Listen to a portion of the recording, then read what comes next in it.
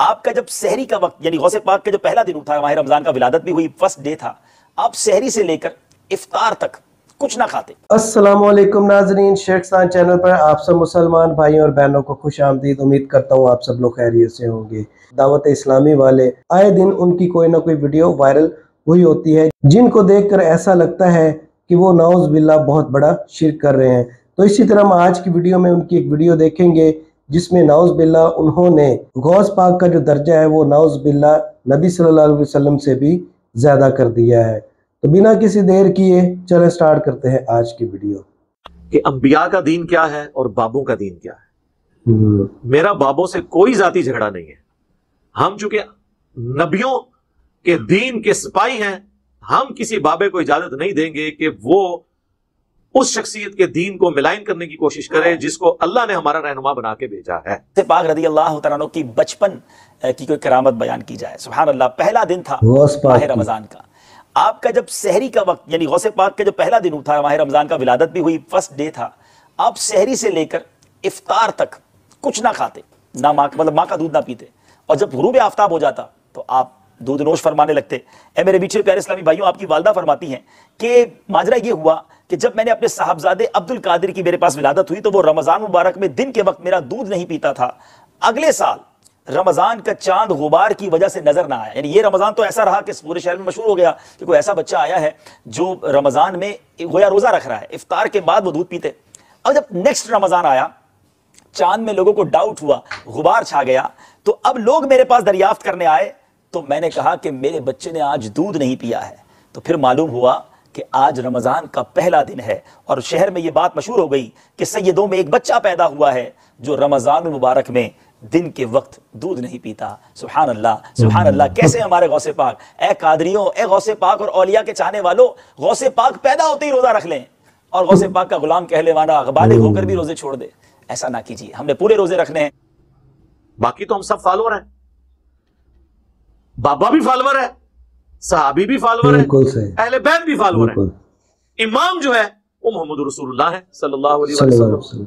हम किसी शख्स को ये इजाज़त नहीं देंगे कि वो रसूलुल्लाह के दीन को टेम्पर करने की कोशिश करे। क्योंकि कोई शख्स हम पे अगर धौंस डालता है तो किसकी धौंस डालता है?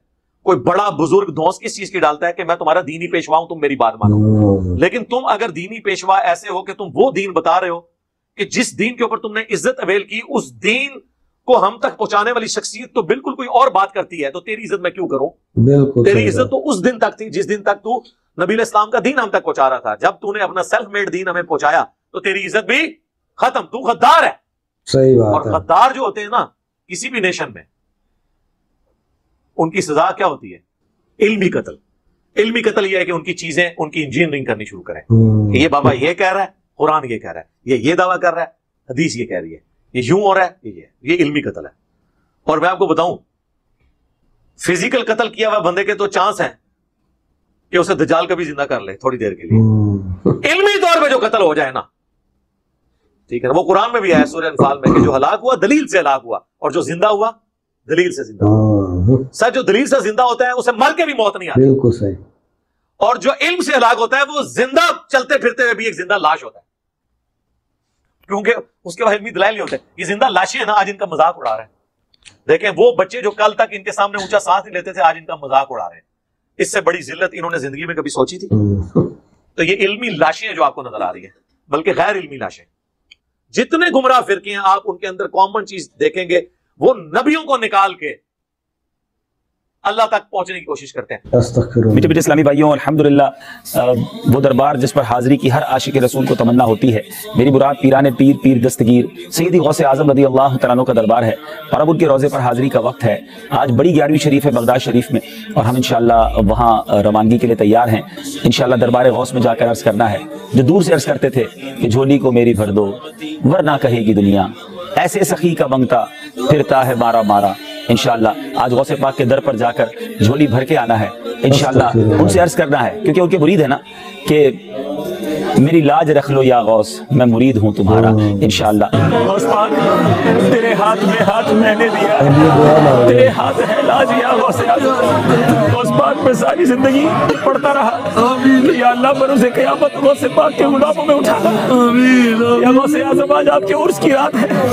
आपके मुरीद आपके फकीर दूर से आए हैं। आप ही का फरमान है कि नेक मुरीद मेरे लिए और मैं गुनाहगारों के लिए हूँ। गौस पाक आपके गुनाहगार मुरीद आए हैं हमारी झोली भर दीजिए झोली को मेरी भर दो वरना कहेगी दुनिया ऐसे सखी का मंगता फिरता है मारा मारा।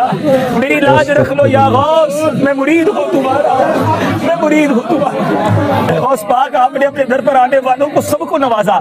ये दूर दूर से आपके फकीर आपके मुरीद आपसे मोहब्बत करने वाले आए हैं। आज आपके उर्स की रात है। किसे खाली ना लौटाइए। सबकी झोलियाँ भर दीजिए। माँ माँ ये शेर मोहताज तो हाजत रवा। मोहताज तो हाजत अलमदद या आज़म सैयदा। मुश्किलाते बेअदद दारे माँ। अलमदद या गौसे आज़म पीर माँ। इमदाद कुन इमदाद कुन। अजबंद गम आज़ाद कुन।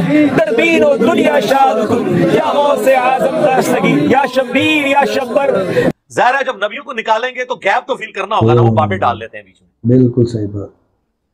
और मेरी ज़िम्मेदारी है कि मैं बाबे पकड़ के निकालू। हम्म, बाबे निकलते हैं तो फिर उसकी तालीमात आ जाती हैं जिसकी कब्र मदीने में। बिल्कुल सुबहान अल्लाह इंसान की हिदायत पे होने की निशानी क्या है? इंसान की हिदायत पे होने की निशानी यह है कि वो हमेशा हिदायत के लिए दुआ करता रहे अपने आप को परफेक्ट ना समझे। हम्म, और दूसरा हर चीज़ को वो किताब सुन्नत और इजमा साहबा और बैत के अमाल के साथ मैच करे बजाय बाबों के साथ मैच करने के। और उसके मुताबिक चले वो हिदायत पे इंशाल्लाह। जी तो नाजरीन, ये थी आज की वीडियो। उम्मीद करता हूँ आपको आज की वीडियो अच्छी लगी होगी, आपको अली भाई के जवाब अच्छे लगे होंगे। यकीन अली भाई जब भी बोलते हैं, कुरान और हदीस के मुताबिक बोलते हैं और उनके जो हवाले होते हैं, वो भी कुरान और हदीस के मुताबिक होते हैं। तो जैसा कि वीडियो में आपने देखा कि हमने जो है वो दावत इस्लामी वालों की कुछ वीडियो देखी। पहली वीडियो में उन्होंने गौस पाक, उनके बारे में उन्होंने बताया कि जब वो पैदा हुए थे तो वो आई थिंक मेरे ख्याल में रमज़ान शरीफ में पैदा हुए थे। और पैदा होते ही, यानी अभी वो एक दिन के थे तो उन्होंने रोज़ा रखना शुरू कर दिया। उनके रोज़ा कैसे रखते थे? आपने वो वीडियो में देखा कि वो जब भी सहरी का टाइम ख़त्म होता था तो वो अपनी माँ का दूध पीना छोड़ देते थे। और जब मगरब का टाइम होता था, जब अफ्तारी का टाइम होता था तो तब जो है वो रोज़ा रखते थे रोज़ा अफ्तार करते थे। अब पता नहीं इसमें हकीकत क्या है, झूठी कहानियाँ हैं या असलियत है। मैंने तो आज तक किसी नबी की ऐसी कहानी नहीं सुनी कि जब नबी पैदा हुए थे तो उनमें जो है वो इस तरह का कोई मुआवजा आता हो सिवाय नबी सल्लल्लाहु अलैहि वसल्लम के। लेकिन नबियों में ऐसे मुआवजे अक्सर देखने को मिल जाते हैं, लेकिन उनके जो फॉलोअर्स हैं या उनके जो सहाबा इकराम हैं, उनमें ऐसे मुआवजात हों, वो मैंने आज तक अपनी ज़िंदगी में नहीं सुने। अगर आपने कभी सुने हैं तो हमें कमेंट सेक्शन के ज़रिए ज़रूर बताइएगा।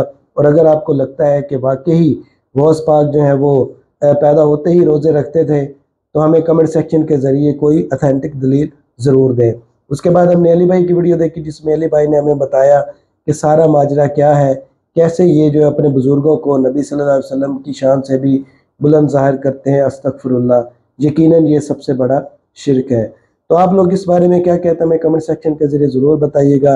अगर आपको वीडियो अच्छी लगी तो आप लोगों से दरख्वास्त करता हूँ कि इसको ज़्यादा से ज़्यादा शेयर करें। और इस्लाम को दूसरों तक पहुँचाने में हमारा साथ दें। मिलते हैं अगली वीडियो में, तब तक के लिए अल्लाह हाफिज़।